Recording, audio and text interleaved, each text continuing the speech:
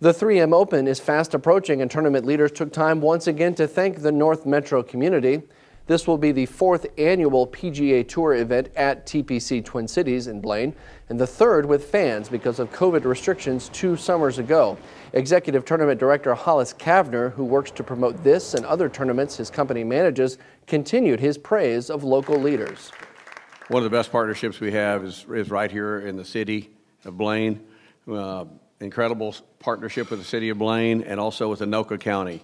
You know, without these two groups, we could not have an event of this magnitude and have this many thousands and thousands of people come in and, and, um, and host something like this. Cavner said the waning COVID pandemic and return to normalcy helps distract from controversies within the professional golf world.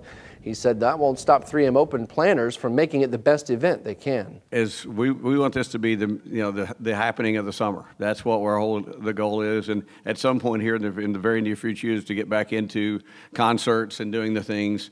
You know, let's face it, we had a few years of COVID that put us backwards, but you know, we're back now, and I think as you see us going forward and, and, and some of the good things that are happening on the PGA Tour, uh, we feel like we're in a really, really good position. And uh, uh, I think um, uh, we're going to have the best tournament this year that we've ever had, I think. The 3M Open tees off on Thursday, July 21st, and tickets are still available.